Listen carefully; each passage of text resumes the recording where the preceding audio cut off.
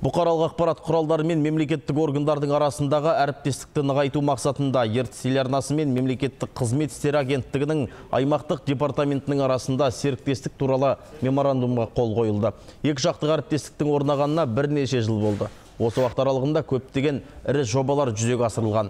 Тікелей эфирлер мен онлайн курстар өткізіліп, жаңалықтар топтамасында мемлекеттік органдардың қызметі туралы бейне материалдар көрсетілді.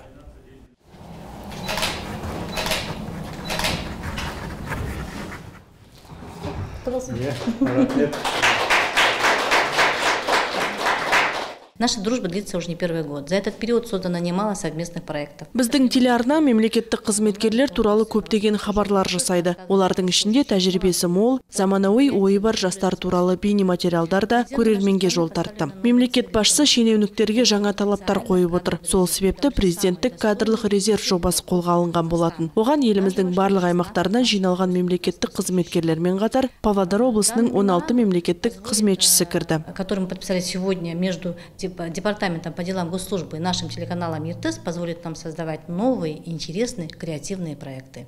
қазіргі кезде мемлекеттік органдар ашық түрде қызмет жасауға тиісті Ә, бүгінгі күнді біз ә, халыққа осы мемлекеттік қызмет көрсету барысында көптеген арыз шағымдарды қараған кезде осының бәрін сапалы қарап ә, жұмысымызды нақты жасап осының бәрінің ә, халыққа жеткізуге тиістіміз сондықтан меморандум бізге бүгін үлкен мүмкіншілік беріп отыр. Осы меморандум арқасында біз бұқаралық ақпарат құралдарымен өте нығыз жұмыс жасайтын боламыз.